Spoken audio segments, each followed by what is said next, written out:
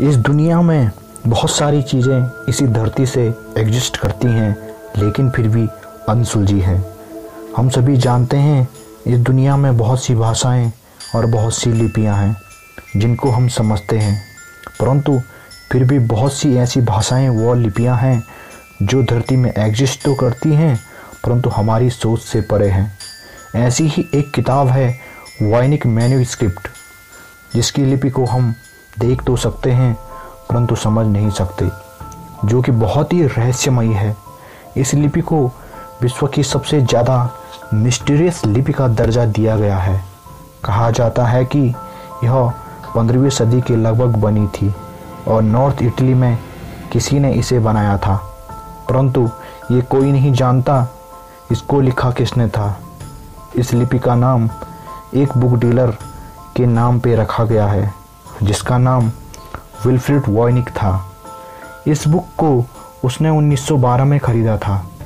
इस किताब में अभी 240 पन्ने मौजूद हैं, परंतु इस किताब के कुछ पन्ने गायब हैं, जो कि कोई नहीं जानता ये कैसे गायब हुए।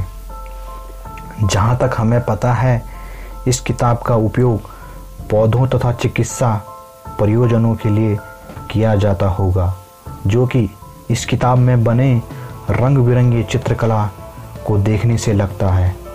इस किताब में हमें भिन्न भिन्न आकृतियों के पेड़ अजीबो गरीब चित्र देखने को मिलते हैं, जिसमें से शायद ही कुछ इस धरती पे मौजूद हो। हम इस किताब की लिपि व भाषा को नहीं पढ़ सकते हैं, इसलिए इस किताब में क्या लिखा है, यह समझना बहुत ही कठिन है। इस किताब को समझने की कोशिश बहुत से लोगों ने की है। यहाँ तक कि कई ब्रिटिश और अमेरिकन कोड ब्रेकर भी इसे समझ नहीं पाए।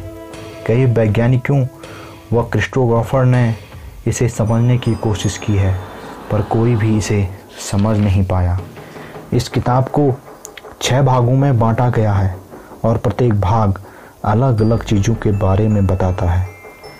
अगर हम पहले हिस्से की बात करें तो वह हमें बायोलॉजी से रिलेटेड करता है।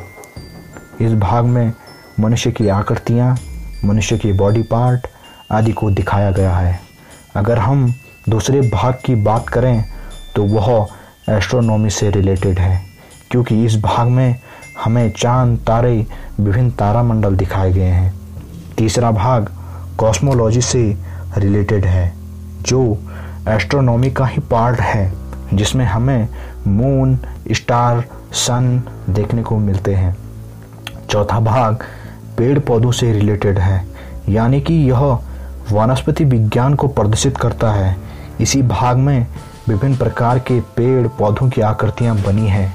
पांचवा भाग आयुर्वेद से रिलेटेड है, जिससे हमें विभिन्न प्रकार की जड़ी बूटियों के बारे में बताया गया है। और आखिरी भाग में कोई डायग्राम नहीं है। बस सिर्फ़ लिखा गया है। शायद इसमें राइटर ने अपने बारे में लिखा हो या हो सकता है उस समय के जीवन के बारे में कुछ लिखा हो या उस टाइम बनने वाली रेसिपी के बारे में कुछ लिखा हो। यह कहना तो मुश्किल है कि हम इसको कभी समझ पाएँगे भी या नहीं, क्योंकि इतने सालों से कई लोग इसे समझने की कोशिश कर रहे हैं, पर कोई कुछ नहीं समझ पाया। आखिर इस किताब में ऐसा क्या लिखा है? और इसके पन्ने कहाँ गायब हो गए?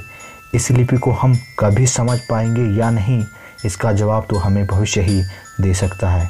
इस वीडियो को देखने के बाद आपके मन में इस किताब को लेकर कोई ना कोई विचार ज़रूर आया होगा। मैं चाहता हूँ आप अपने विचार कमेंट सेक्शन में ज़रूर लिखें।